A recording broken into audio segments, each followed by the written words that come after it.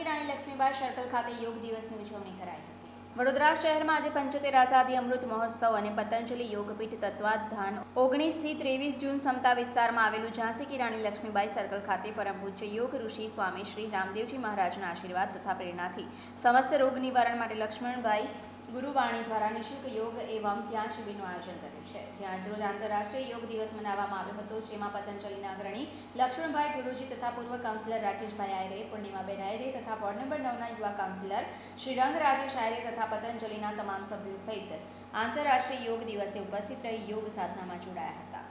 સમગ્ર વિશ્વભરમાં આજે એકવીસમી જૂન એટલે યોગ દિવસ યોગ દિવસ.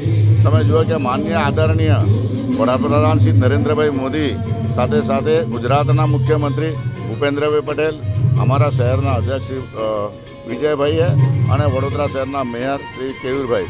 આવી રીતે સમગ્ર અલગ અલગ જગ્યા પર જે યોગ માટે અને આ જે અમારું પતંજલિ યોગ સમિતિ છે, એ આખા દેશભરમાં અને ખાસ કરીને વડોદરાના અમારા જે પ્રભારી લક્ષ્મણભાઈ, એમની નિગ્રહ અને તમે જુઓ છો કે આખા વડોદરામાં સૌથી વધારે યોગના માટે બારે માસ ત્રણસો દિવસ. અને ખાસ કરીને ઓગણ ઓગણીસથી ત્રેવીસ દરમિયાન આ એક યોગ શિબિરનું આયોજન કરેલું હતું.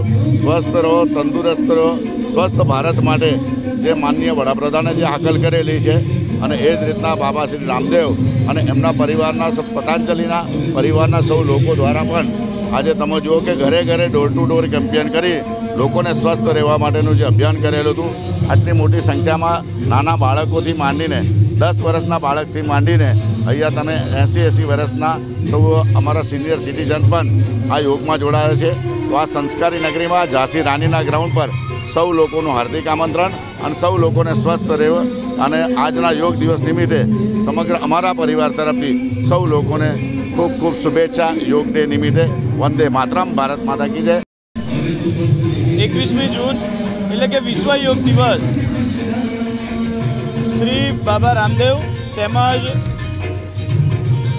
ભારત દેશના યશસ્વી પ્રધાનમંત્રી શ્રી નરેન્દ્ર મોદીજીના હાકલથી ફિટ ઇન્ડિયાના માર્ગદર્શને આજના દિવસે જે યોગ શિબિર રાખવામાં આવ્યો છે.